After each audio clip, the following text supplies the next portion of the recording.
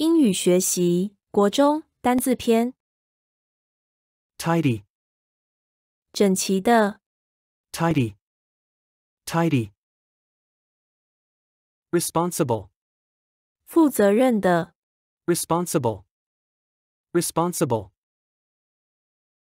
Sincere, 真诚的、sincere, sincere.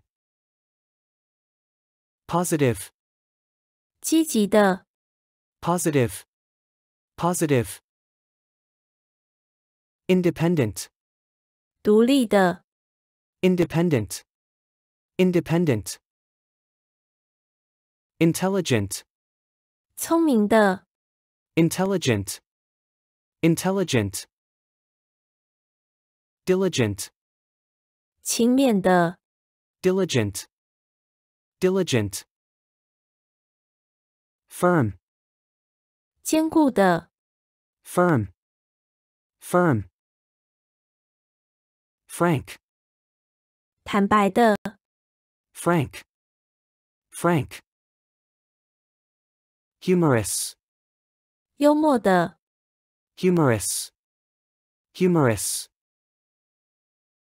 牛顿曾说：“如果我看得比其他人远，是因为我站在巨人的肩膀上。” ”所以，让我们一同学习名人的智慧，成就更好的自己。以上为本影片内容。如果你喜欢这个影片，别忘了按赞与订阅。我们下个影片见。